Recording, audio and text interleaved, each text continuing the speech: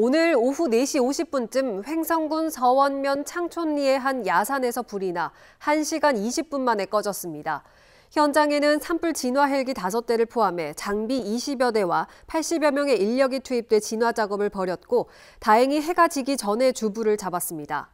현재까지 인명피해는 없는 것으로 파악되고 있는 가운데 산림당국과 경찰은 정확한 화재 원인과 피해 면적을 조사하고 있습니다.